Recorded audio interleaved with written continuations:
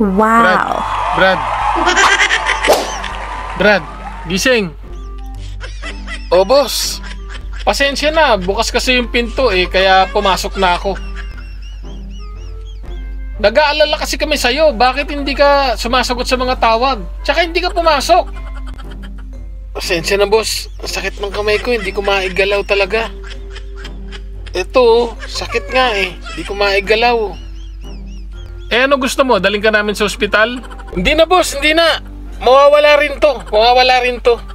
Baka naglaro ka na naman ng basketball, eh lalampa-lampa ka naman. hindi ko nga alam eh, basta hindi ko na lang maigalaw. Itong kamay ko, hindi ko maigalaw.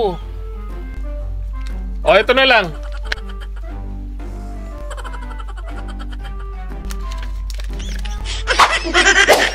Bumili ka ng gamot para makapasok ka bukas. Ha?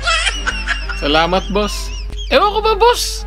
Kahapon na itataas ko to hanggang ganyan. oh. Pero ngayon hindi ko talaga maigalaw.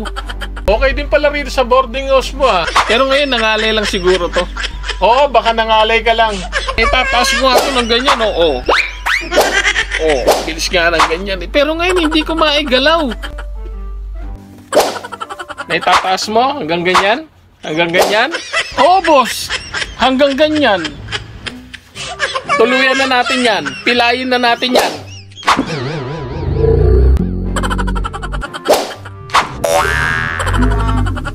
Mm. Mm. Aray, boss, napilay na. Hinayupa ka. Hinayupa ka. Hinayupa ka.